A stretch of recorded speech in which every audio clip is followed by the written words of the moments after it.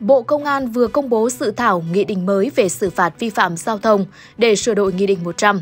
Điểm mới của dự thảo lần này là hạ mức xử phạt một số hành vi và đưa quy định trừ điểm bằng lái xe vào thực hiện. Dự thảo nghị định mới có tên gọi Quy định xử phạt vi phạm hành chính về trật tự an toàn giao thông trong lĩnh vực giao thông đường bộ, trừ điểm phục hồi điểm giấy phép lái xe có 4 chương, 51 điều. Khi áp dụng nội dung này, mỗi người dân có bằng lái xe sẽ được cộng 12 điểm mỗi năm. Trong một năm, nếu vi phạm bị trừ hết điểm sẽ phải thi sát hạch để được cấp lại bằng. Trong năm đó, nếu số điểm bị trừ không vượt quá 12 điểm thì sẽ được khôi phục lại 12 điểm mới vào năm sau. Hành vi vi phạm đã bị trừ điểm giấy phép lái xe thì không áp dụng hình thức xử phạt tước quyền sử dụng.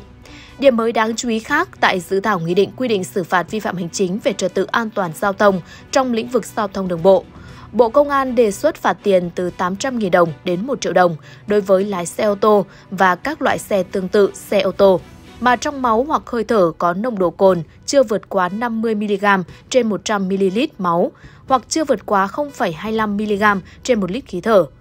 Theo quy định hiện hành tại Nghị định 100, mức tiền phạt từ 6 đến 8 triệu đồng, phạt tiền từ 400.000 đồng đến 600.000 đồng đối với người điều khiển xe mô tô, xe gắn máy mà trong máu hoặc hơi thở có nồng độ cồn, nhưng chưa vượt quá 50mg trên 100ml máu hoặc chưa vượt quá 0,25mg trên 1 lít khí thở, thay vì mức phạt từ 2 đến 3 triệu đồng như hiện nay.